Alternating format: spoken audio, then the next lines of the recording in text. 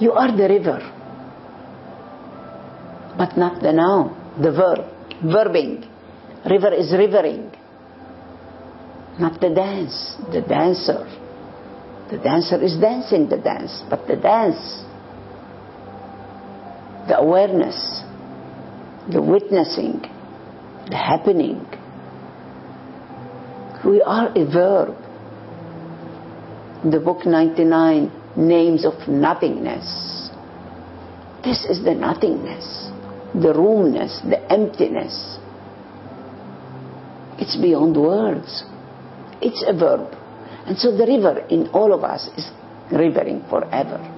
This is the existence, the mystery that has no words to say, but to live it. No matter what I tell you about the water, unless you drink it, you don't know it. So drink. And then we look at each other, we don't talk. If I tell you it's sweet or it's salty, your taste is different. Because I'm different, you are different, and every moment we are growing. Change is a constant law. Change. Even if we stay with the same dress and the same place, it's not the same. Osho, before he left his body, he used to eat the same food at the same time every day. And he said, never the same. I cannot put my hand or my finger in the same water. The water is watering, the river is rivering, and I'm changing too every moment. One breath, not to death. There's no death but to another bridge. From bridge to bridge.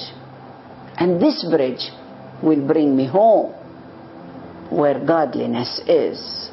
So the bridge is a vehicle to go to my godliness, which is within me. And there is no end when you meet and melt and merge as a drop and a wave in the ocean.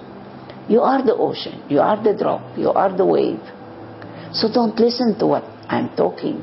Just go in between the words in the gap. And in that gap is the gate, the pearly gate. Go in. Once when you are in, I-N-N.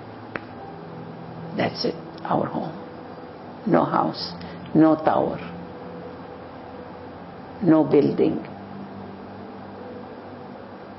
so whatever, wherever we go, keep revering and enjoy the journey.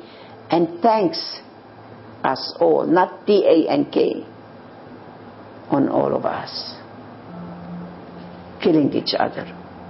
You remember when Alexander the Great and the Great, he was passing by and met Diogenes, a naked man. And Diogenes asked him, where are you going? I'm going to India to see my mother and I'm going to you know, conquer the whole world. He said, you will die before you reach India and before you meet your mother. Who are you, the beggar? He said, when we go home, we know who is the beggar, who is the emperor. And he was scared. He saw a body so beautiful and so shining. The sign came. He said, if there is life after this life, I would love to be like you. He said, don't postpone life, postpone death. Just be who you are now. Take off your clothes and what all these tanks are going here. And please, he said, what can I do for you? He said, please, leave because you are giving me the shadow of the sun. Move. The sun is my only son. And Diogenes had a dog with him. And the dog looked at Diogenes. He said, it's like talking with each other.